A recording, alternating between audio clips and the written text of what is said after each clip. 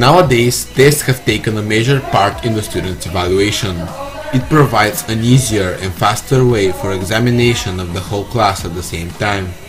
On the other hand, too specific information is sometimes required, and nothing more than plain details need to be memorized.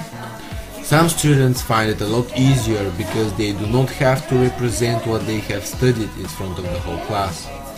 Nevertheless, children have to be told to talk and explain their points in front of audience. That is where the auto examination comes into place. Although tests are still major part of evaluation and assessment, more and more information in communication technologies are used at present. The use of ActivExpression and similar devices and software are the best examples.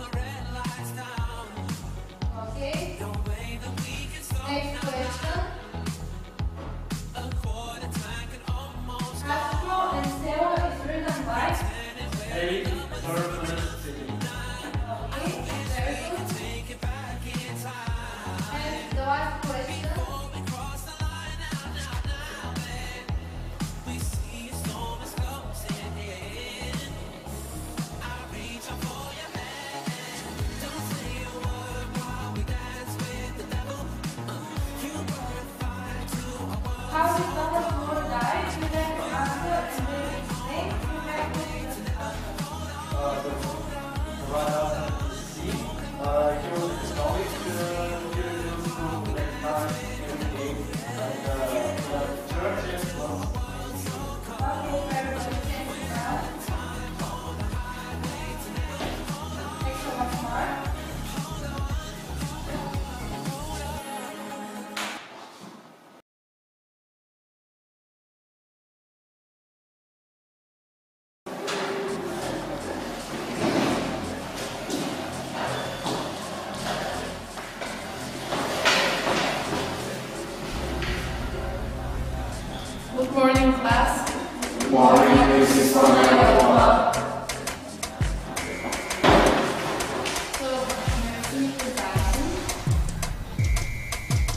Time has passed since 2015.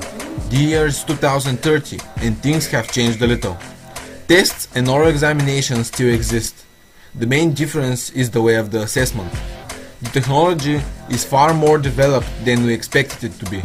Now there aren't any marks but points called credits, which are received for every correct answer a student gives.